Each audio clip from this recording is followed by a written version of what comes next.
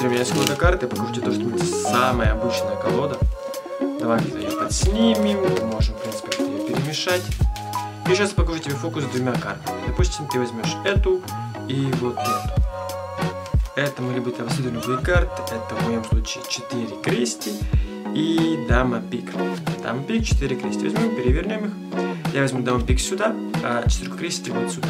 После чего возьму четверку крести и положу под низ. Спрошу тебя, какая карта? Зритель говорит, что типа здесь четверка, здесь дама. Смотрим. Это у меня уже 4 короля. И, собственно говоря, разумеется, колода карт самая обычная. Здесь нету никаких секретов. Погнали обучаться. Итак, ребята, это одна из версий на легендарный фокус две карты Монте. Этот фокус показывали абсолютно все, даже самые раскрученные в медиапространстве фокусники. Поэтому две карты Монте, я думаю, знают абсолютно все, кто только когда-либо изучал какие-либо фокусы, либо смотрел. Поэтому вам точно это понравится. Поэтому прямо сейчас поставь лайк и напиши конструктивный комментарий по данному фокусу. Скажу сразу то, что мне эта версия нравится в разы больше, чем оригинал, потому что в ней не надо делать топ-ченч. И плюс мы проявляем вообще, вообще, вообще, вообще, а вот, вообще проявляем 4 короля. Это в разы круче, чем просто брать и менять две карты на другие две. Поэтому ставьте лайки, а мы погнали обучаться. Итак, для этого фокуса в первую очередь вам необходимы, ну, 4 короля. Это как бы логично. Либо 4 туза, либо еще какие-нибудь 4 карты. Допустим, дамы. Что мы делаем? Берем и кладем в таком порядке. Король, король, король и короля лицом вниз. Вот наша зарядка. Кладется все дело наверх колоды. После чего, разумеется, мы можем сделать веер, показать зрителю. Но мы не должны делать вот такой вот веер. Вот так вот нельзя делать. Мы должны сделать аккуратный веер, чтобы не спалить наши верхние карты. Показали, все четко. После чего взяли колоду, перемешали обычным способом, который контролирует одну стопочку, то есть как бы слеснули, одну карту на себя, все дело накидали, забрали, подняли. То есть вот взяли, подняли стопочку, одну карту на себя, и все дело мы сверху бросаем.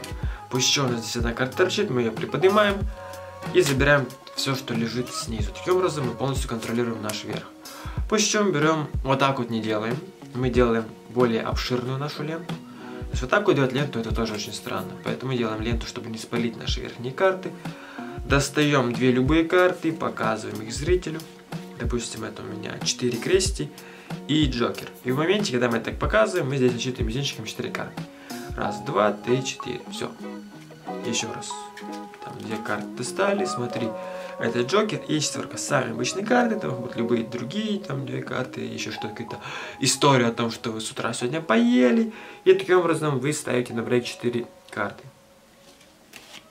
Еще раз, там, оп-оп-оп. Раз, два, три, четыре. Все. И держим на брейке и показываем. То есть, типа, четверка крести и Джокер. После чего берем и нашу эту всю стопочку переворачиваем как две карты. То есть у нас сейчас вообще идет в общем счете 6 карт. 4 короля и 2 те карты, которые был зритель. Но для него мы переворачиваем 2 карты. Таким образом четверка сейчас лежит сверху. Мы берем, говорим, смотрите, четверку кладу сюда, Джокера кладу сюда.